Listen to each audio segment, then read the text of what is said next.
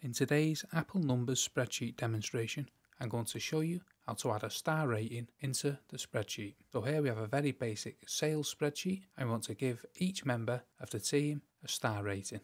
So we want to add the star rating here at the end of the spreadsheet. So what you want to do is highlight the cell where you want to add the first star rating. You want to come up to format and with format up, you want to click the cell tab.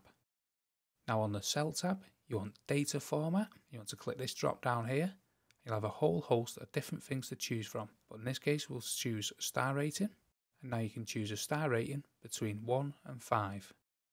So now let's say we want to give Mary a star rating, so you highlight a cell, come down to data format and star rating, and now you can give Mary a star rating of 1 to 5.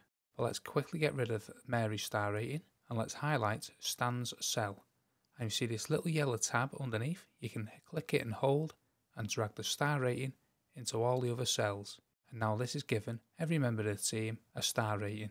You can choose to give each member a different star rating. If you look on the bottom left hand corner, the star rating actually is formula. As you can see in the bottom left hand corner, is changing the numbers. So the star rating is not just for aesthetics, it can actually be used in formulas. However, that's for another video. Hope you found that video useful. If you did, hit the like button and thanks for watching.